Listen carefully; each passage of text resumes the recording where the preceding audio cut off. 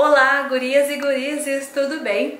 Eu quero falar um pouquinho sobre duas máscaras faciais. Quem já comprou comigo a máscara de ouro e a máscara de vitamina C sempre me pede para fazer um vídeo exatamente falando um pouco mais sobre ambos os produtos. E aí, como eu não tinha esse vídeo, então decidi fazer. E também esse vídeo serve como mais uma dica de cuidados com a pele.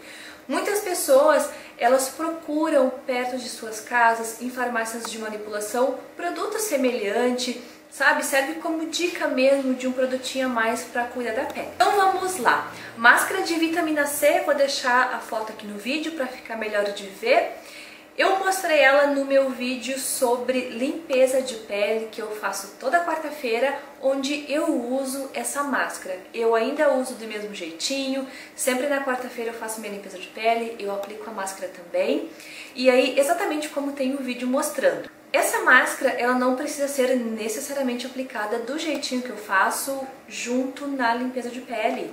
Quem tem interesse em adquirir usar um produto como esse, procura próximo à sua casa, usar uma máscara de vitamina C, pode usar de uma, duas vezes na semana, sem ter a presença da limpeza de pele. Eu faço junto com a limpeza de pele porque eu acho que funciona melhor, eu estimulo um pouco mais a minha pele e a máscara, ela tem a proposta de deixar uma pele luminosa, viçosa, uma pele bem nutrida.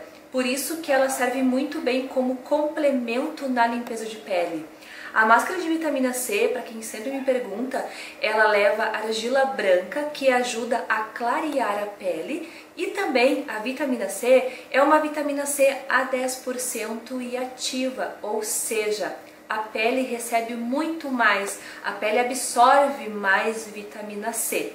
Então, por isso que é uma máscara bem potente, bem bacana, no sentido de complementar de fato a limpeza, a manutenção da pele. Porém, para quem procura uma máscara clareadora, não é exatamente essa aqui. Ela também ajuda a clarear mas ela não tem a função somente de clarear. Ela leva a argila branca que acelera um pouco mais o processo de clareamento. Mas o clareamento da pele é rotina, né? É realmente tratar a pele para clareamento. Teremos um vídeo, um vídeo mais atualizado falando sobre clareamento, tratamento, cada pele. Então teremos um vídeo falando sobre isso. Eu gosto muito dessa máscara porque ela deixa a minha pele é, lisa no dia da limpeza de pele e isso é incomum acontecer comigo.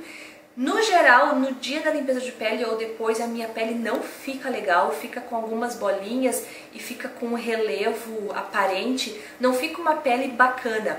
Mas a máscara ela serve como um selante, então ela tá deixando a minha pele lisa já no, no dia da limpeza de pele mesmo.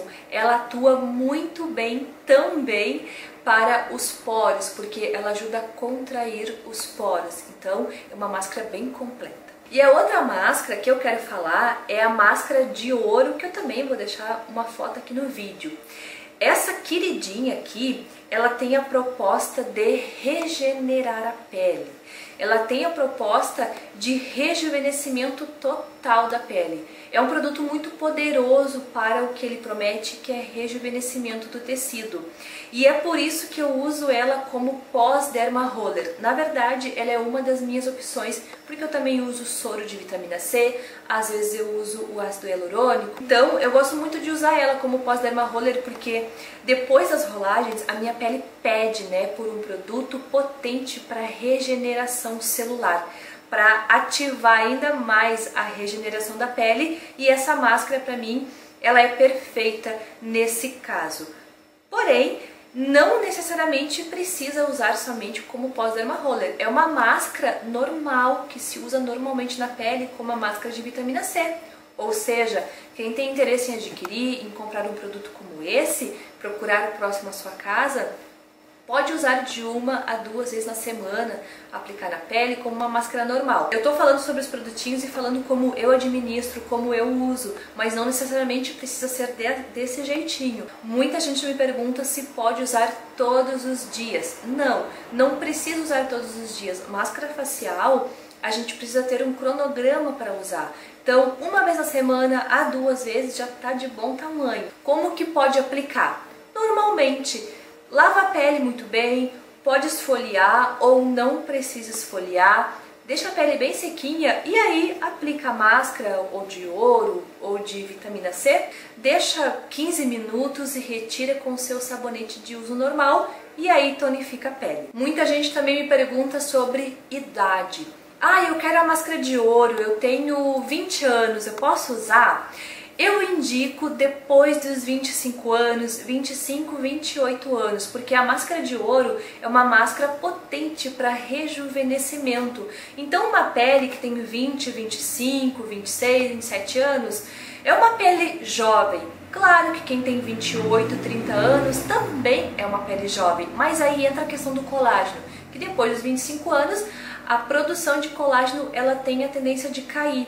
Então, a máscara de ouro seria uma ótima reposição de colágeno, falando topicamente, tá? Porque tem muita gente que prefere tomar colágeno e também tratar a pele com colágeno topicamente, e isso é muito bom. Então, por isso que eu sempre aconselho depois dos 25, 27 anos usar uma máscara como essa.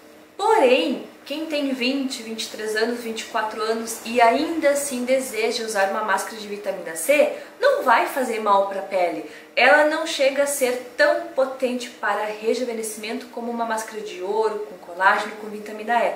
A máscara de vitamina C, ela serve também para peles jovens, mas eu sempre tento explicar para as pessoas que têm 20, 22 anos que para a sua idade tem várias e várias máscaras, vários cosméticos né, à disposição.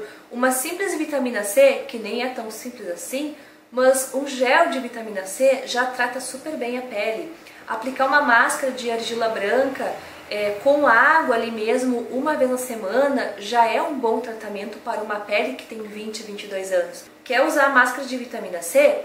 Pode usar, mas tem outros produtos que irão agredir menos a pele, digamos assim, para que para aquela idade. Então não precisa usar produtos mais fortes, sendo que a idade ainda não pede. Então o vídeo foi esse e eu espero que eu tenha ajudado as pessoas aí com as dúvidas que eu recebi. Muito obrigada pela companhia.